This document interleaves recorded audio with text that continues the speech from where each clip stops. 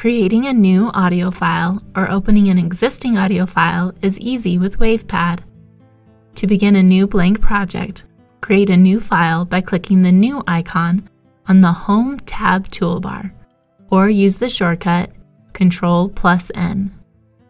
To open an existing file, click the Open File icon, or use the shortcut Ctrl plus O and browse to the file you would like to open. As you can see, you can work on multiple files at the same time. You can minimize windows you aren't working on, then easily recall them by clicking the file name at the bottom of the project window. You can also use the options in the window menu list to arrange the open files. The title bar of the active file will be highlighted. To play the active file, click the play button at the bottom of the screen.